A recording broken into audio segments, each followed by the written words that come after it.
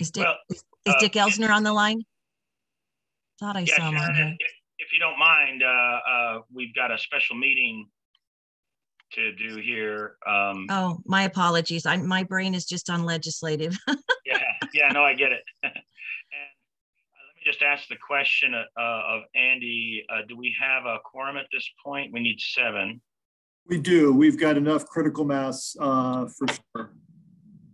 Okay, and I think we still have one person that's dialing in, uh, in the office there. We, since we know that person's there, we should wait for that. Uh, just, just to clarify, we do have two from Monument, so that would mean we have one that's a, du- a alternate. Does that still give us a quorum without the alternate? Not that, I mean, the alternate is here and can have an opinion, but we can't have the two, we can't have both voting, right? That, that's correct. Well, have- uh, I'm sorry. go ahead, Andy, go ahead. I think we gonna- have a I quorum just- without that, but go ahead. Yeah, I was just going to mention who we do have, uh, so we can establish a quorum. Uh, Mayor Wilson, and he is also joined by trustee Schoening, but just, yeah, one vote per jurisdiction. But uh, Mayor Wilson, uh, Councilmember Zulawaga, Councilmember Donaldson, um, Commissioner Bremer, uh, Mayor Thompson, Mayor Graham, Commissioner Stone, and uh, Chair Vanderwerf. So yes, we have a quorum. Okay, that, that would be eight and we need seven. Yep. So um, we still have that one person dialing in in your office there? Uh, Trustee Gardine should be connecting here any moment. Um, but if you wanna go ahead and get started in the interest of time, Yeah, my recommendation is uh, we'll just give it another minute for the trustee to, to join in and uh, once he's on, we'll, we'll press. Okay. Uh, Since he's there and wanting to participate in the meeting, it seems like we should stand by for him to get on. Sure.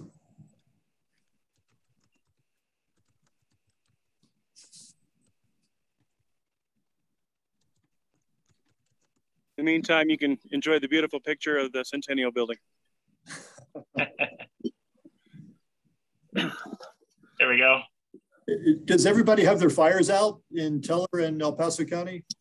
They are as of last night. Good.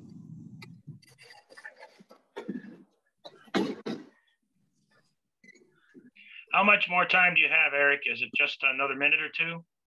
Uh, I probably got five to seven. Okay. I'll tell you what, um, since we have the risk of losing someone to gain someone, Andy, maybe we need to go ahead and uh, call this meeting. Let me go ahead and proceed with that. So I'd like to call this special uh, uh, meeting to order for the Pikes Peak Area Council of Governments, April 11th at 8:30. Uh, Our call to order, we have established a quorum. Um, I don't think we need to do any introductions. Uh, and uh, we have one item on the agenda, which is item 4A. I'd like to motion and a second for a vote to approve the agenda. So moved. Eric Stone, Seconded. Teller County. Seconded, John Graham. Thank you very much. Uh, any comments or questions with regard to the agenda at this point from anybody? No, sir.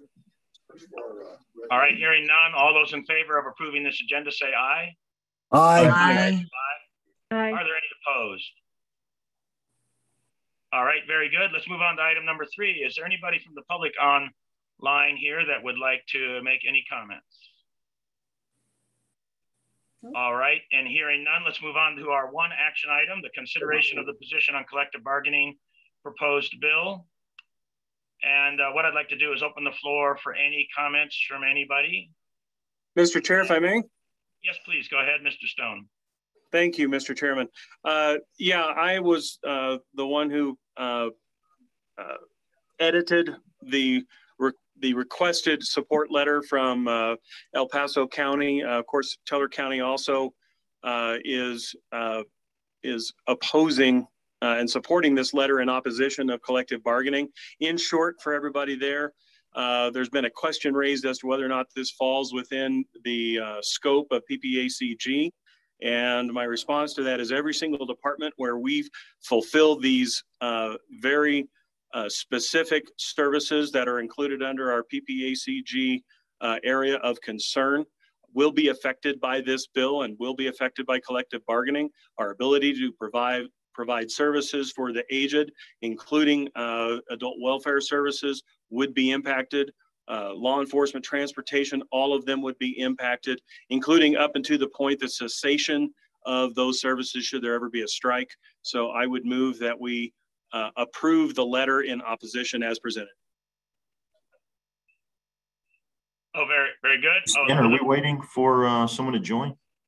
We are, uh, and hopefully uh, that person can join here in a moment, but we have the risk of losing Commissioner Stone in the process He- of. He has joined. Oh, Would it has. be, Oh, would it be appropriate to read into the record the concern of the person since they're not here that was in opposition of this letter? Uh, we will absolutely do that. Thank you, Sharon. I agree with that, and we will read that. Um, so, uh, all right. So we so we now have, if I understand correctly, Andy, uh, we have one additional added uh, member of PPACG, and that now makes it nine. Is that correct? That, that's correct. Okay. And uh, let me just make sure that, uh, let's see, the uh, uh, trustee Gardine, uh, I see that you are online there. Excellent. If uh, I don't know if you have an ability to take your, uh, uh, to speak in, I see that your mic is off at the moment. Can you hear us?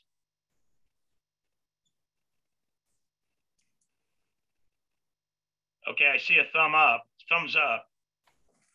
Well, I wanted to just make sure that Trustee Gardine heard Commissioner Stone's initial comments.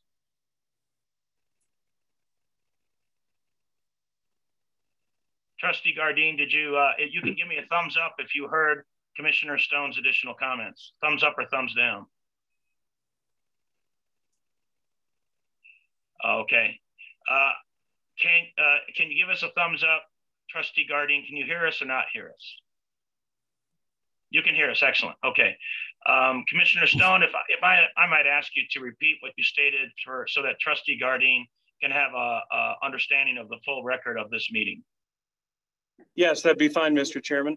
Uh, yeah, I'm the one who uh, presented the edited form of the letter that's presented before you today. And I just wanted uh, to let everybody know that has any concern about whether or not this is within the scope of PPACG is that every single department within the county that falls under the mission of PPACG will be affected by collective bargaining, including up to or up to and including the cessation of those services should uh, county employees be allowed to strike, which is currently allowed under the current draft of the bill. And uh, also the increased cost to the counties uh, could significantly impact our ability to do those jobs and actually end up with a reduction of services because counties cannot print money. So again, my motion was to approve the letter as presented. Very good. And okay, excellent. Uh, I see that Trustee Gardini had a thumbs up, so he was able to hear that. That's great. Um, and there was, I think also you made a motion. Is that correct, uh, Commissioner? That is correct. I will All right. second it. All right, thank you. Uh, we do have a motion and a second. And I know that we had uh, one individual that was in opposition to this letter. Uh, that was Councilwoman Avila, and unfortunately, she's not able uh, to be here today. But if I could maybe ask um, Andy to uh, uh, express, I, I believe Andy, she expressed her concern about this to you. And if there's anybody else that would like to chime in, let's make sure that uh, Councilwoman Avila's point is expressed here in this meeting so everyone here can hear it before we proceed to a vote. So Andy, would you like to take a first shot at that? Uh, sure. Thank you, Mr. Chair. Uh, and she's just got a, a short, uh, to the point uh, response that she sent back last week and said it was fine to share this with the board. I am in complete opposition to this letter. This has little to do with transportation, aging, environment, or military. Thank you. Okay, very good. Uh, is there anything else that that uh, Councilwoman Avila has shared with any of the other members? I just want to make sure that you know her opposition is known to everybody here on this board before we proceed with the vote. All right, hearing none. Does anybody else have any comments with regard to this item before we go to a vote? I fully support uh, what uh, Commissioner Stone said and agree that this could have significant impacts on our ability to uh, uh, conduct business.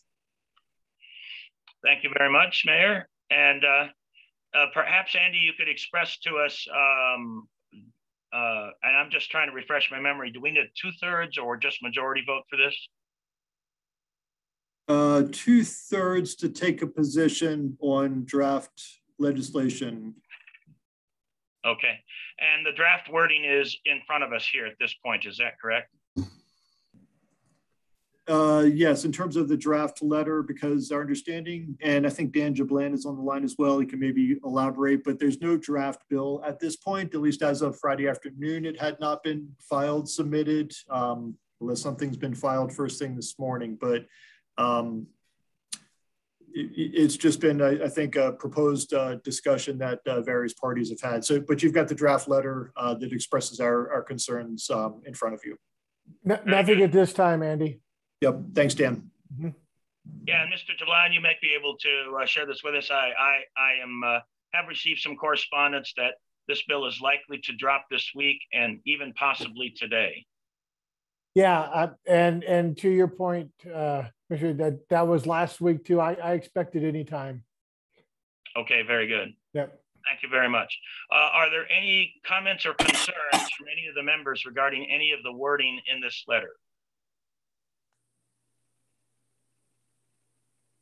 I just want to say I think the letter does articulate the concerns and the impacts to our respective counties.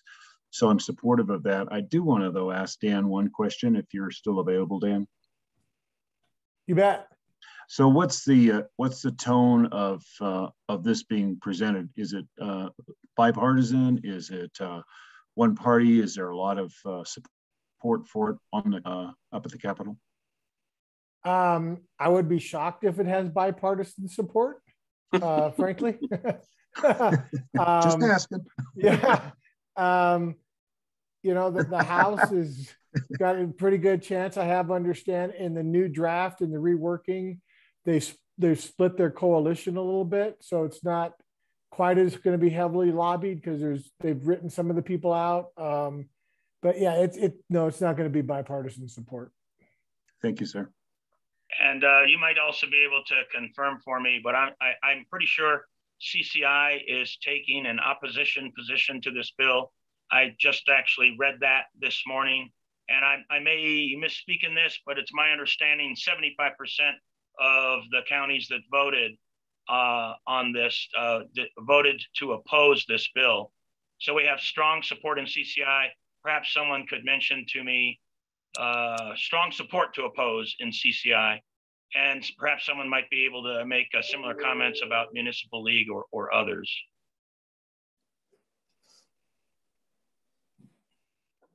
I don't honestly. I couldn't understand. I had to phone into CML last week, and I couldn't understand what they were saying. So I I had to hang up. And I'm sorry, I don't have their most current position. I'm sorry.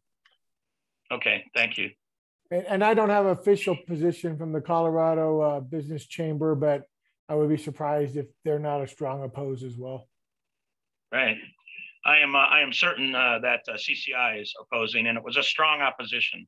It was my understanding majority. is that my understanding also is that higher education was the other party that would be mandated to have collective bargaining is also strongly opposing this. That is correct. I heard that on Friday.